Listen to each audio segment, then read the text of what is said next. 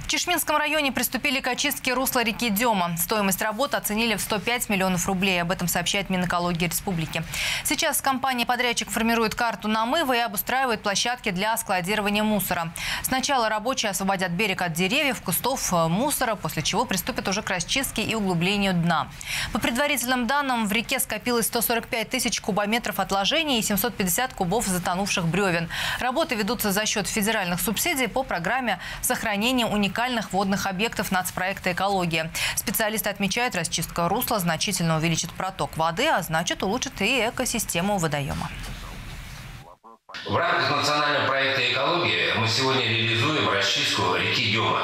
35 километров от э, деревни Новомихайловка до деревни села. А, Расчистка позволит улучшить экологическое состояние реки и, кроме того, улучшить жизненные условия жителей прибрежной зоны. Работы по облагораживанию прибрежной территории начали два года назад. Тогда на этот проект выделили более 80 миллионов рублей, 15 из которых из республиканского бюджета.